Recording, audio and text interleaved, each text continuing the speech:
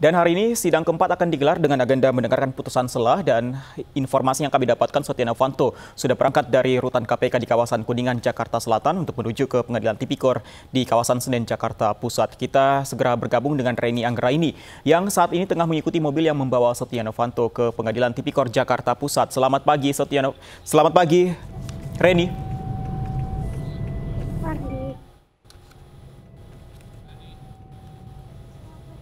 Reni?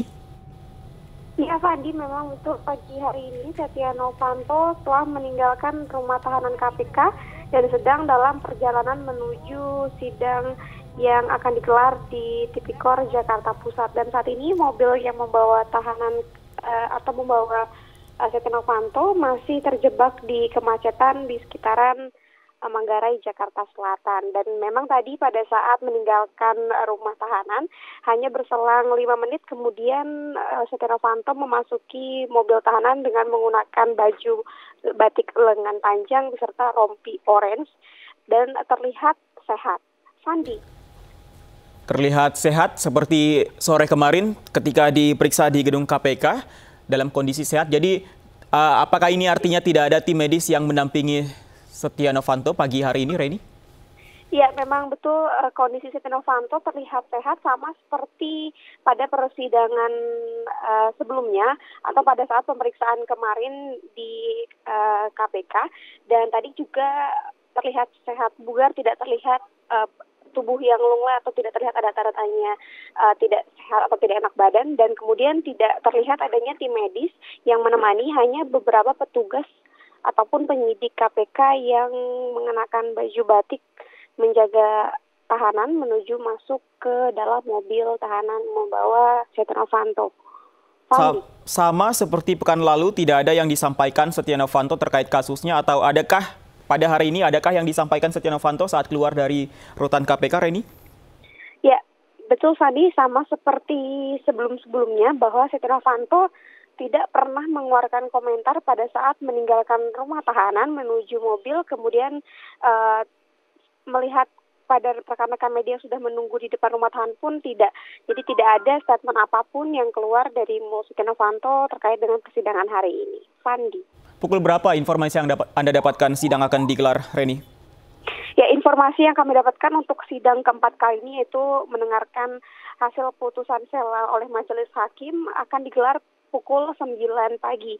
Jika dilihat dari durasinya memang uh, sepertinya akan tepat waktu karena uh, perjalanan dari KPK menuju rumah uh, maksud kami dari rumah tahanan KPK menuju persidangan memakan waktu sekitar 30 menit jika dalam kondisi normal artinya Setia Novanto akan datang ke sidang lebih cepat dari waktu perkiraan persidangan dimulai. Fandi. Reni pekan lalu usai atau beberapa saat setelah menjalani sidang ketiga pada pekan lalu kita ketahui Setia Novanto sempat menjalani pemeriksaan begitu. Nah, apakah ada informasi yang Anda dapatkan mungkin dari petugas rutan KPK bagaimana kondisi Setia Novanto setelah mendapatkan uh, pemeriksaan dari tim medis pekan lalu, Reni? Ya, memang betul pada saat minggu lalu setelah persidangan ketiga Setia Novanto sempat menjalani uh, pemeriksaan untuk memeriksa kesehatannya di RSPAD pada hari Jumat. Namun dari informasi hari ini belum ada pernyataan dari KPK apakah Setia Novanto harus menjalani pemeriksaan ulang atau uh, perawatan terkait dengan kondisi kesehatannya. Namun jika terlihat dari fisik ataupun secara kasat mata memang tidak terlihat adanya eh, tanda-tanda orang mengalami sakit ataupun kondisi yang tidak enak badan karena memang uh, terlihat kondisi Setia Novanto sehat, bugar, walafiat. Sandi. Reni, kalau kita ikuti sidang-sidang sebelumnya, tiga uh, sidang sebelumnya saat meninggalkan rutan KPK, ini tidak ada pihak keluarga yang mendampingi Setia Novanto dari ketika meninggalkan rutan KPK. Apakah memang ada aturan dari uh, pihak KPK untuk melarang atau membatasi pihak keluarga mendampingi dari rutan KPK atau bagaimana aturannya meskipun mungkin berbeda mobil? Begitu. Uh, jika memang dilihat dari persidangan awal sampai dengan kesidang keempat kali ini uh, pemindahan tahanan memang orang luar dilarang untuk memasuki area rutan kecuali pada saat jam besuk ataupun jam kunjungan keluarga. Dan memang khusus untuk memindahkan tahanan sendiri hanya boleh dilakukan oleh petugas saja ataupun petugas yang berwenang untuk mendampingi tahanan menuju persidangan.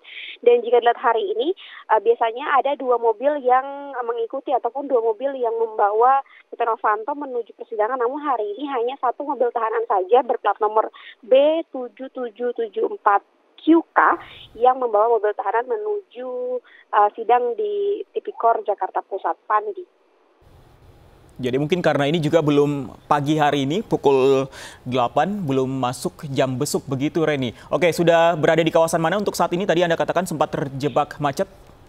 Uh, saat ini mobil tahanan yang membawa Setia Novanto sudah memasuki kawasan di Cikini Jakarta Pusat. Uh, jika diestimasikan dalam kondisi normal akan sampai di uh, persidangan pada pukul setengah sembilan atau sepuluh menit lagi. Pandi. Ini, ini kita sambil memantau terus bagaimana perjalanan Setia Novanto menuju ke gedung Tipikor Jakarta untuk menjalani sidang keempat hari ini.